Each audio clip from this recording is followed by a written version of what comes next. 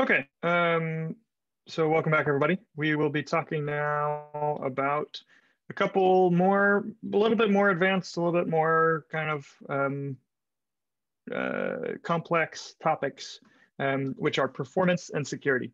Uh, we'll start with performance and then we'll move on to security. And I'm just gonna go through a set of um, some simple things that everyone should think about when they're building applications, particularly DHIS2 applications, but applications in general, when it comes to performance uh, and security and how to use some of the tools that are available, such as the, the app platform and the um, uh, data engine to improve, and, and the REST API for DHIS2 to improve performance with, without a lot of effort. Um, and what to, what to think about when you're looking at an application to figure out what, what could be improved or what needs to be improved. So I'm gonna share that screen now. And let's go back to the top here. Okay, so we're going to talk about performance. There are three um, topics within this that I'll cover. Um, the main two, I'll, actually mostly just be talking about network bandwidth and bundle size, and then I'll describe a little bit what will be coming in the future um, about uh, with progressive web apps and what that means for performance. So right off the bat, network bandwidth is important. That's the, the first thing to, to keep in mind and to know. Um, and that's because uh, your application and DHIS2 in general might be used in poor network con conditions. This is actually quite common with users of DHIS2 across the world because in a lot of cases, a health facility, for example, might not have uh, a fiber optic connection to the internet. Um, it might have a, uh, a slow DSL connection, or it might more likely have a uh, mobile network connection, either 3G or maybe 4G, um, some cases even 2G, but that's uh, uh, even, even more difficult to use DHIS2.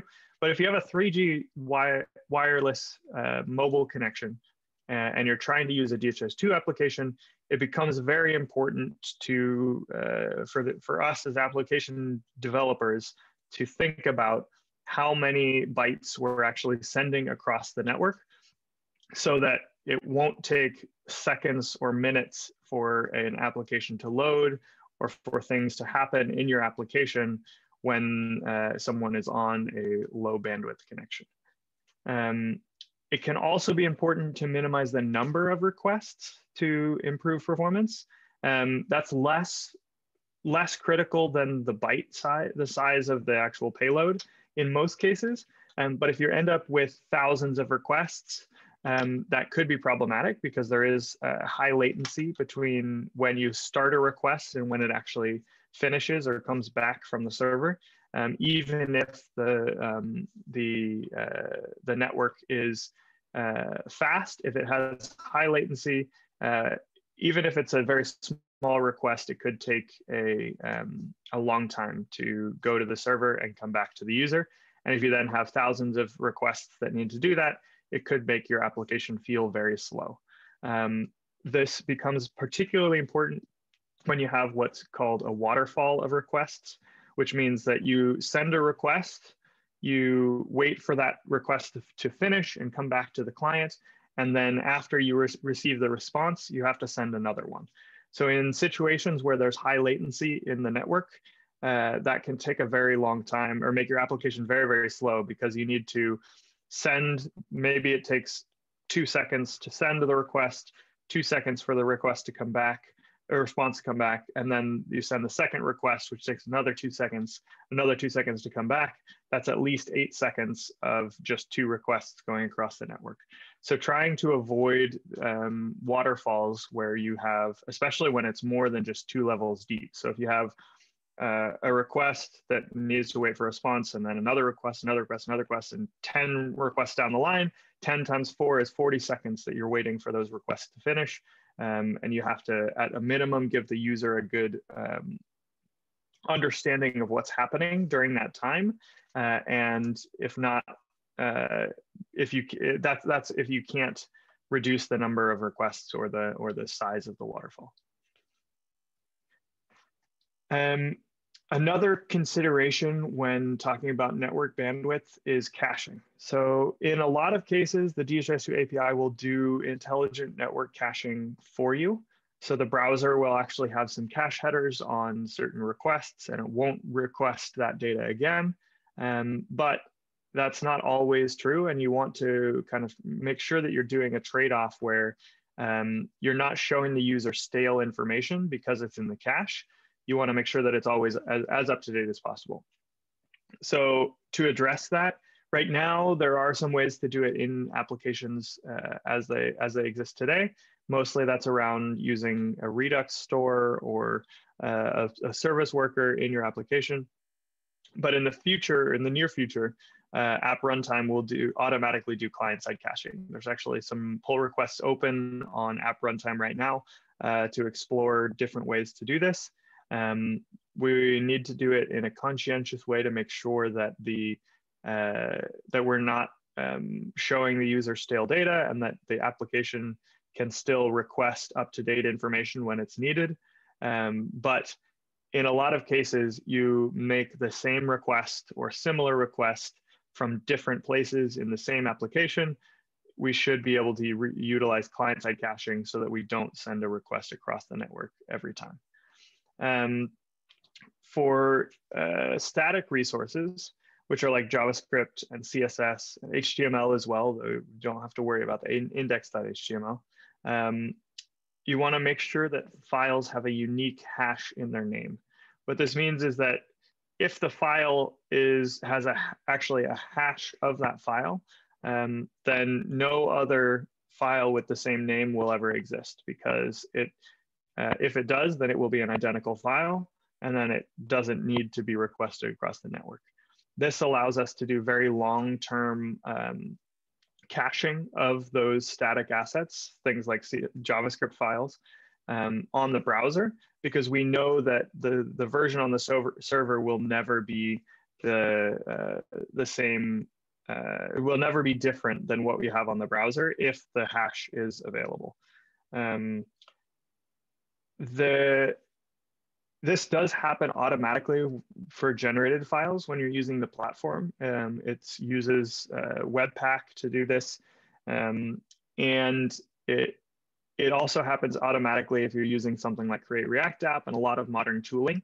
Um, but if you're using files or putting files in the public folder of your application um, and you're not adding hashes manually, then you might run into issues with caching.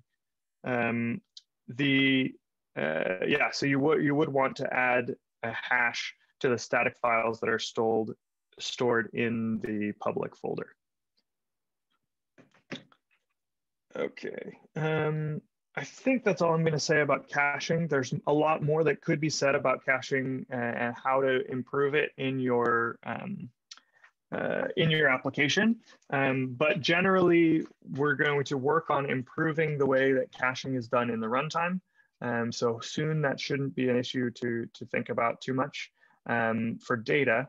And then for static resources, so long as you use the default um, uh, ability to have a hash in the name of the files and you uh, add a hash to file names in the public folder. You can also, it doesn't have to be a hash necessarily, but if it's a specific enough name, um, like you have the full version number of your jQuery fi um, JavaScript file, for instance, in the public folder, then that is a good kind of first step for um, setting up, um, uh, yeah, for, for avoiding um, cache misses in, in the, uh, in your application. Another important thing, and this is actually um, has come up a number of times recently in some core DHIS2 applications as well, uh, is that DHIS2, the DHIS2 API has the ability to specify pagination. So you can say, I want 50, uh, I want the first 50 indicators or the first 50 uh, org units or the first 10 uh, TEIs from a specific request or something like that. Um, and there's a there is also an option in that REST API to turn off pagination. So you can say paging equals false in some API requests, but don't do that. Please don't do that.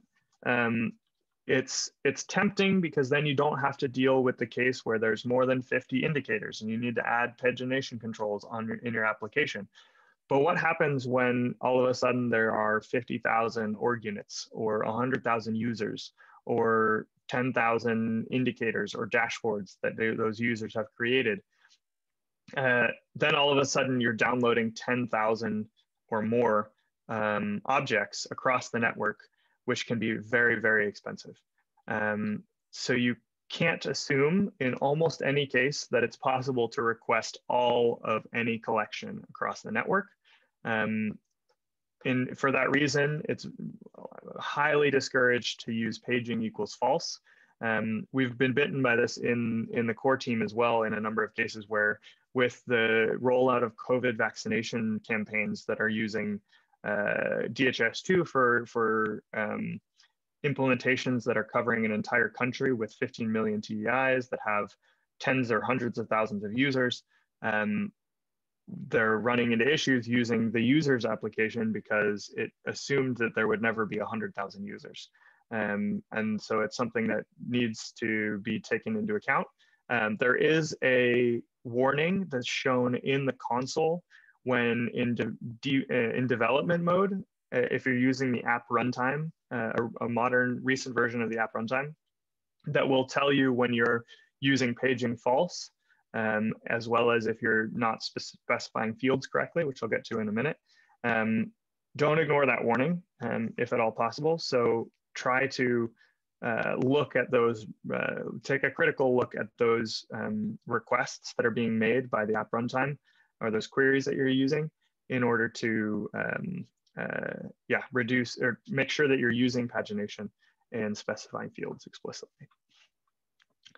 Um, there are a number of challenges that happen or, or uh, symptoms of not using paging in a DHIS2 instance that has a lot of objects or a very big database. Um, sometimes the browser will freeze. Um, in most cases, it will freeze. And that's because if you're not doing this in a service worker, which most uh, applications are not today, um, you are actually need to stop the browser from doing anything while that request is sending. And if you have 100,000 users that you're requesting across the network, it might be tens or even 100 megabytes of data, um, which is takes a very long time, even on a very fast connection. Um, it can also uh, be unreasonable to um, and completely useless on mobile because if you have a one gigabyte per month uh, data plan or something, 100 megabytes is uh, for for a single request on a single web page is not something that you want to be happening. Um, the browser might even crash if it takes too long because it might run out of memory depending on the, the, the browser or the, the um, system that the user is using. Um, and what could be even worse is because it's requesting all of this information um, from the server, it's quite expensive and heavy for the server to do as well, uh, and the entire server might crash. Um, so the moral of the story is if you don't use paging, everyone will be sad. Uh, and you don't want everyone to be sad. So please use paging. Here's how to use page, pagination in a query as well as directly through REST API. The example on the right with the red border here is what you should not do. You can do this, but uh, do not do it, please. Everyone will be sad. And that's because uh, we're setting paging as false with the user's resource. This can be quite problematic because there might be 100,000 users and we don't want to request 100,000 users across the network. Um, in most cases, if you're requesting a, a large set of users um, for a search or something like that, you want to show maybe the first 10 results only. Um, so just set the page size to 10, uh, and then you can actually add pagination or continuous scrolling, those types of things as well. So the, the example on the left here is what you should be doing. Um, you can set the page size to anything you want, whatever makes sense for your application. The default is usually 50 for most resources. Um, but you can set it to 10, you can set it to two, you can set it to 100. um, just make sure that there is some limit and you know how many users will be returned from this uh, result. So there's an upper bound on the size of, of that request. Uh, and if you're doing uh, this in uh, outside of the app, app runtime, um, this is what it would look like in uh, on the bottom here. That's what it would look like as a, a an API request across the network um, as a, a, yeah as just a, a regular REST API request. Um, so you'll see you have the page size equals 50 and page equals one. Um, don't set paging equals false in that um, URL. Another thing that's kind of related to pagination, but uh, slightly different and maybe a little bit more subtle, is the concept of fields. So most of the metadata resources in DHIS2 include the option to specify which fields you want in the response. Um, if you don't specify any fields in your request, by default, many fields are returned by the API. So there's basically a, a default set that might be quite verbose, um, and you don't usually need all of those. Um, when this, this gets even worse when you're requesting um, resources from a collection endpoint, because you might request, even if you're paginating to 100, if you have 10 times as much data per object um, than as what you need, then it can take uh, it can be quite it will be 10 times as as big. And with 100 objects times 10 times it's quite large um, uh, payload that will be going across the network. In particular you need to pay attention to fields which result in embedded resources um, and specifically for embedded collections what this means is if you're looking at the user group endpoint, for, for, for example, uh, a single user group might have 10,000 users assigned to it, which means that if you request the user group endpoint or the user group resource um, and say a page size of one, you still might end up downloading 10,000 users if you include the users field in that response. Um, to demonstrate this, I'm going to quickly go through uh, an ex uh, a quick example. Um, so let's go ahead and do this in the um, in the data query playground. So I can do this quick example. So this is not a huge database. It's a fairly small one. I'm gonna go ahead and close these because I don't need these. Oops. Um, but here we're going to request user groups. So again, this is not a large um, uh, large database, so it's not it shouldn't be a huge problem to to um, we won't see a problem in the in the browser here or in the server because this isn't talking to a large database. But if it were a large database, it could be quite problematic. And even on this database itself, um, which isn't that large, we can still see significant performance improvement by um, applying some of the things we just learned about. So I'm going to start by just getting rid of this field. So we're, we're just going to get the users groups endpoint um, without passing any, um, any parameters. So if we do that, we'll see that it is paginated by default. So we have a page size of 50. Um, there are a total of 31 here. They all fit on this first page. Um, but if there were 10,000, we would still only get 50 in this response, which is good. Um, in this case, the user group's default um, fields is quite, uh, quite sparse. So we only get the ID and the display name of the user group when we request it. Um, for some other resources, let's say for instance, visualizations, this might be much more, uh, let's see if there's, if there's another one. Actually, I think this has been fixed in 236. So this might actually be uh, the default is not as verbose as you'd want. But let's say that you want uh, a different field here. And so you say fields. Uh, let's say fields is going to be star, which is quite common when you're debugging things to use field star. And now we end up with a whole ton of fields in this um, response. So for all of these indicators, there are 50 indicators on this page um, we have a large number of fields um, that were that are being returned. Um, there's information about some embedded objects like a user. There's some other information about um, sharing, things like this, that probably in most cases we don't want. Um, so in for, for indicators, this could be um, could be problematic just in terms of the number of fields that we're returning here.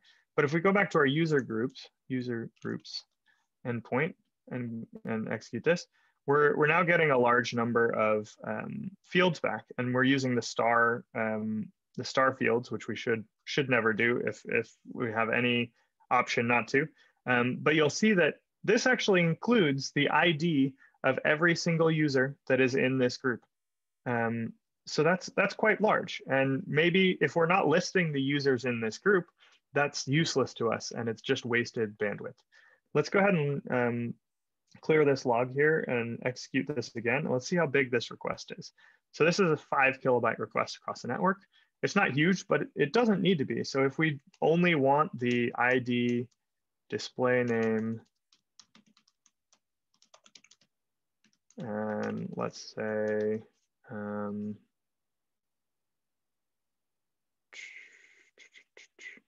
so something else that we want from this, let's say, um,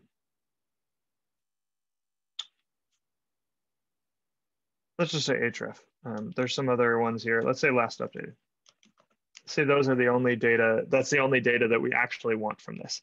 So if I make this request again, uh, we just had a, an 80% redu reduction in the size of this network request um, because it went from five kilobytes to four or to one. Um, so this can be quite, quite useful. Um, there's also the uh, concept of embedding resources.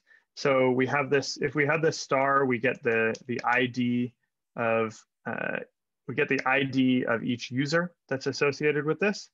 But if we actually did this, uh, again, something I would not recommend, this will give us all of this, all of the fields of each of the users that are associated with this um, uh, with this uh, user group. So this uh, becomes quite a bit more, and actually users is a, is a fairly sparse um, class, at least in 236. In 234, it's quite a bit bigger. Um, so this actually has now gone up to 14 or 15 kilobytes, um, even though we're probably not using all of this. And if there were 10,000 users instead of uh, 10 assigned to this user group, we would get uh, potentially in the megabytes of um, information going across the network for no for no good reason. Um, if I switch to the um, if I switch here to a different server, let's say one that is on 235. Uh, let's say 234.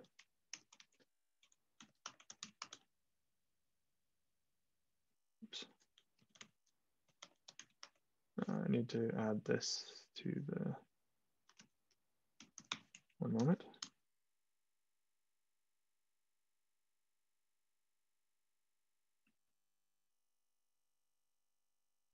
Need to add this to the CORS list for this, this group, I believe. Da, da, da,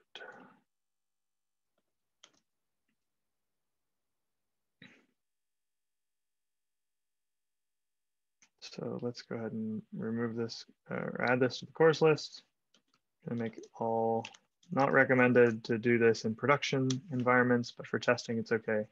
All HTTPS requests should be fine. Let's go ahead and log in. Okay, so let's go ahead and, and try this um, user groups um, endpoint here um, with a star and users star result.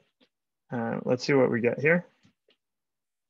So here we end up, remember before we had 15 kilobytes, now we're at 22 um, because we're getting a lot more information about these users. Um, this was reduced in for, for security reasons in 236 um, because the, most of this information about this user shouldn't be exposed to other users. Um, so that is fixed in 235, I think, actually.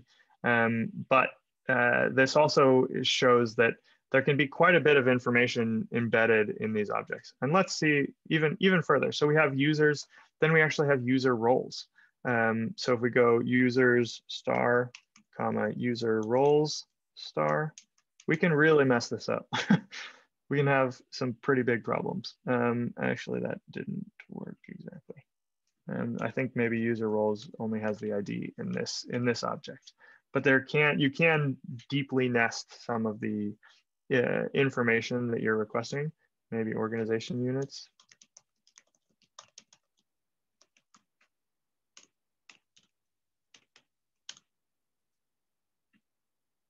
Okay, yeah, so the, those ones only have objects of organization units.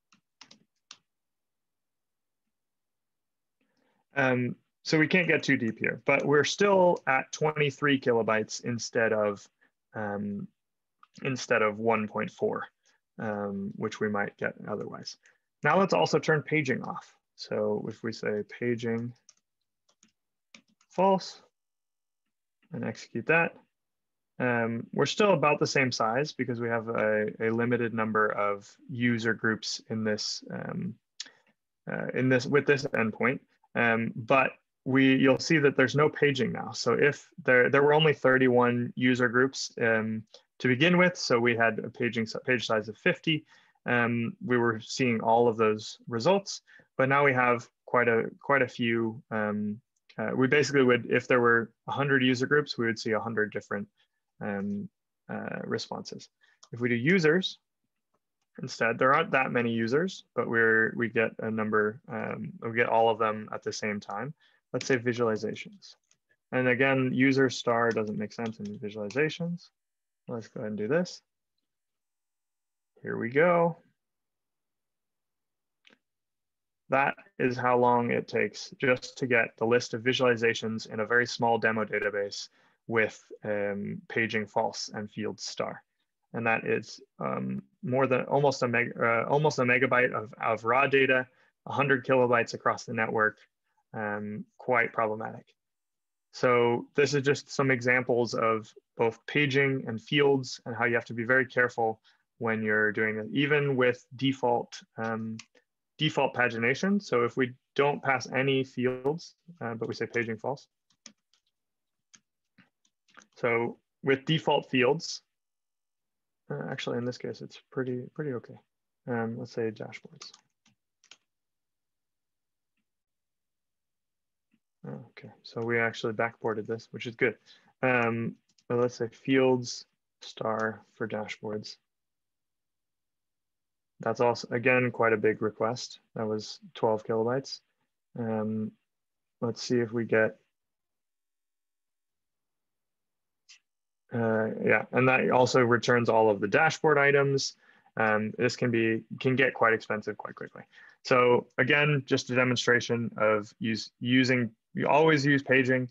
Um, use the smallest paging that you can can get away with. So if I say page size two, um, instead of page page size 50 default, then it will be very, very fast and very, very small network request. That is 577 bytes instead of 12 kilobytes. Okay. Um, see what the next one is. Yeah, so this is just kind of expansion on exactly what I was saying before. Um, be careful with embedded resources, embedded collections. If you try to expand those fields, you can have problems. Um, avoid using star or all, in fields uh, at, at all costs, if at all possible, because that can be uh, very problematic on large databases. And it makes caching more difficult because we don't have an explicit set of the fields that we want. So we can't do things like requesting only the field we don't already have available in, in the network or in the in the app runtime in the future. Um, this is another, yeah, just basically same same thing. Um, talking about caching, talking about um, uh, what to do to test your um, performance of your applications. Um, the size of your JavaScript bundle will affect how performant your application is. Um, it can take quite a long time to load on 3G networks. So we were just doing this, this example with um, uh, let's say visualizations, paging false. We did this one, paging false and um, fields star.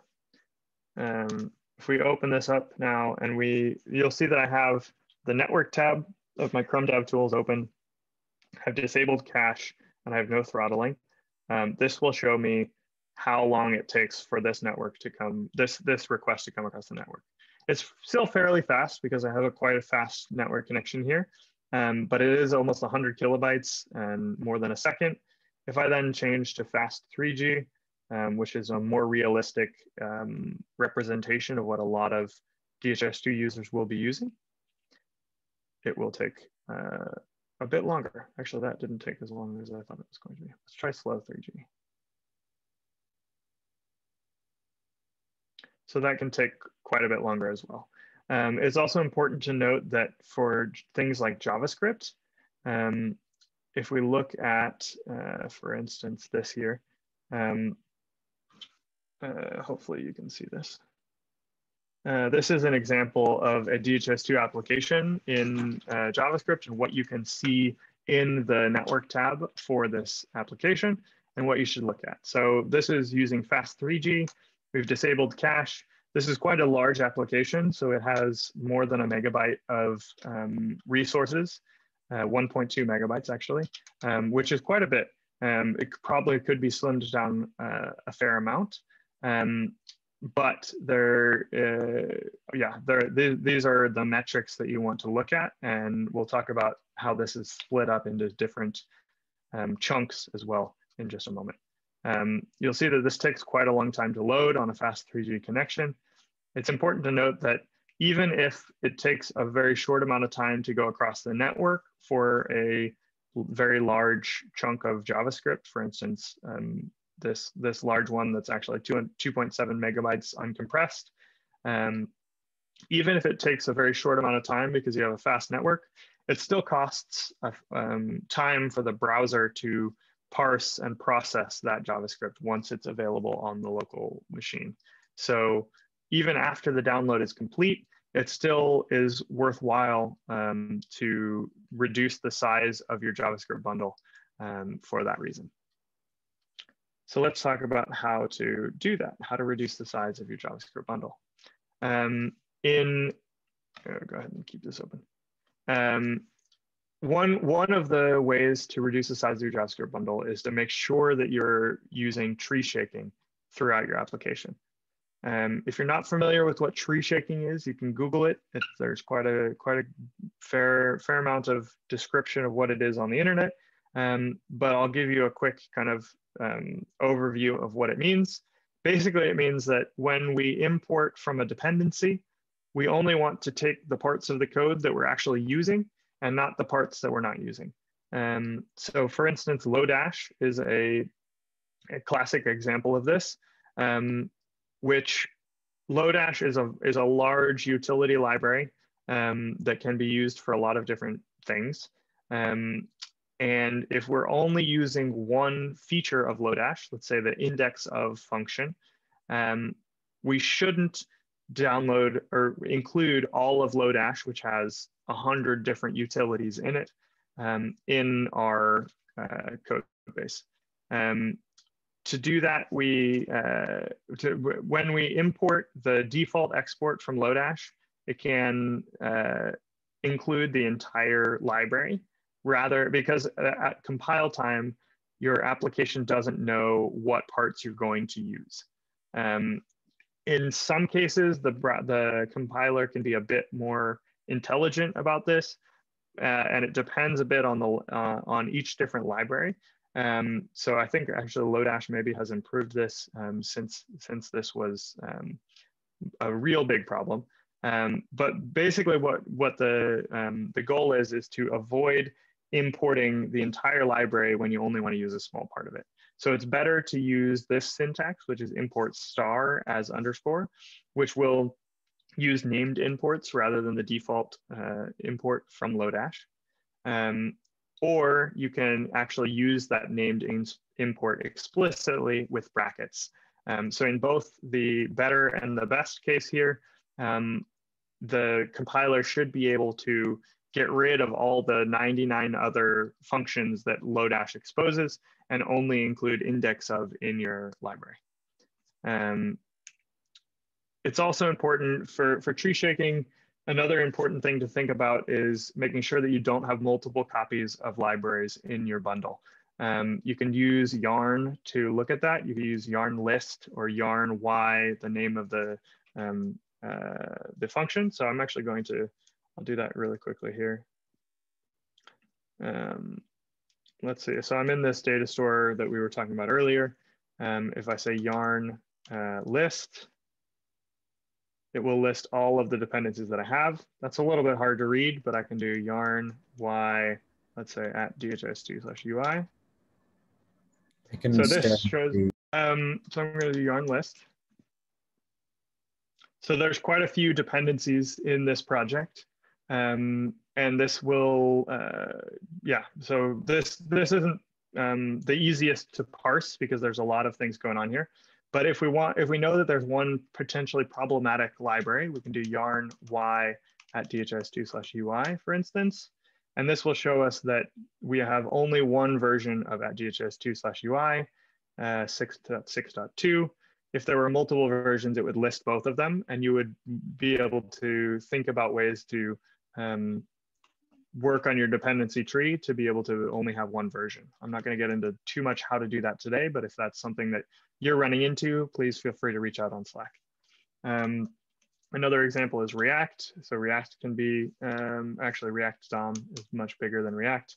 Um, so if you have multiple versions of that, that's problematic for a number of different reasons.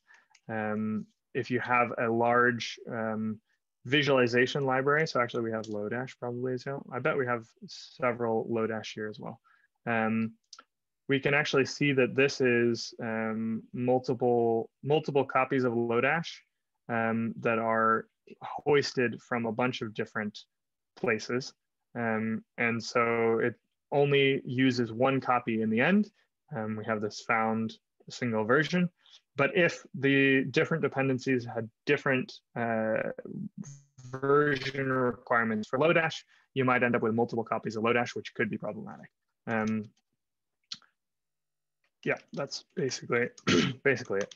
Uh, another thing you can do um, you can do yarn build, and this will return um, uh, some information about the, oops, I actually have a problem here. See what our problem is in this example.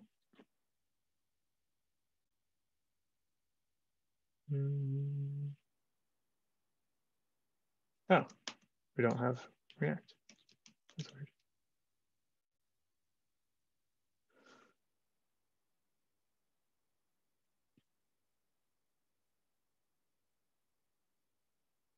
Anyway, we'll get to this in a minute. Um, but one another thing you can do is use uh, a tool called uh, Source Map Explorer.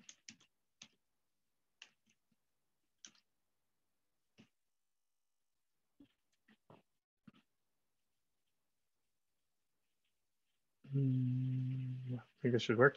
And this will give you an, uh, a, a visualization like this, which will tell you exactly what is included in the built bundle of your application and what it um, what those components are and how big they are. So it'll tell you which dependencies are included in your bundle, um, how they're uh, yeah how they're tree tree shaken out the parts that you're not using, uh, and maybe if you have multiple copies of the same thing, you can visualize it there. um, finally, another um, thing that you can do to uh, reduce the size. This won't actually reduce the size of your bundle, but it will split your bundle up into multiple pieces.